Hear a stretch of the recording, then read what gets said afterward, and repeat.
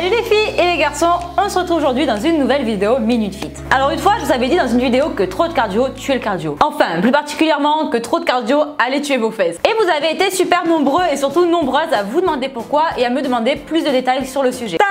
Dans cette vidéo, je parle bien évidemment du cardio de longue durée. Par exemple, quand on fait du vélo pendant une heure en checkant toutes les fit girls sur son Instagram. Vous voyez le genre quoi. À l'approche de l'été, on voit de plus en plus de filles et de garçons squatter les appareils cardio des salles de muscu. Certains sont déjà sur le vélo avant que tu arrives et ils sont encore quand tu repars. C'est pour dire. Hein. Mais d'après moi, et d'ailleurs je suis pas la seule à le penser, consacrer trop de temps au cardio va vous faire davantage ben, perdre votre temps que perdre du gras. Alors après, il faut pas non plus trop cracher sur la soupe. Bien évidemment, faire du cardio va vous faire perdre un petit peu de gras de cuisse, vous voyez. Mais il y a des solutions beaucoup, beaucoup plus efficaces et plus rapides pour atteindre vos objectifs. Quand vous faites du cardio, vous allez bien évidemment puiser dans vos réserves pour utiliser vos graisses comme carburant. De plus, vous allez augmenter momentanément la dépense énergétique. Or, pour perdre du gras, il faut dépenser plus de calories que ce que l'on en consomme.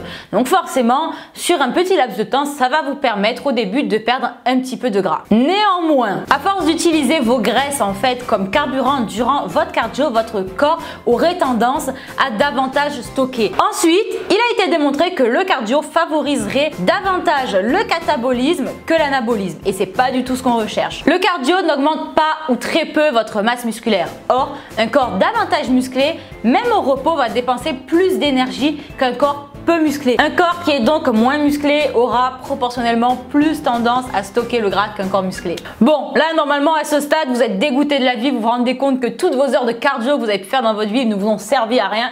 Mais ne soyez pas désespérés, je vais vous apporter quelques solutions pour vous permettre de perdre du gras efficacement. Vous l'avez compris, faire du cardio c'est bien, mais pas n'importe lequel. Ce que je vous recommande, c'est de faire du cardio de haute intensité, ce qu'on appelle le HIT. J'en propose plein dans mes vidéos, il y a plein de playlists à ce propos, notamment sur le site internet bikiniexcessy.com. Faire du cardio HIT, ça va vous permettre de brûler un max de calories pendant une période beaucoup plus courte. C'est quand même vachement pratique.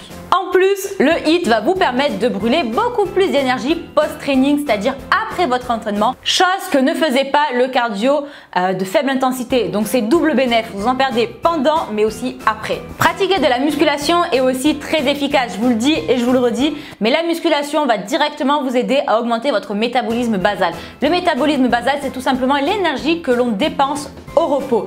Or, plus on dépense d'énergie au repos, plus on a tendance à être sec. Donc misez sur la muscu, c'est le meilleur moyen pour perdre du gras. Et enfin, surtout pour vous les filles, n'ayez pas peur de prendre du volume grâce à la musculation. C'est vrai que les filles ont souvent peur de devenir des camionneuses, etc. Au contraire, on en est très loin. Je vais vous donner un exemple concret qui va vous parler.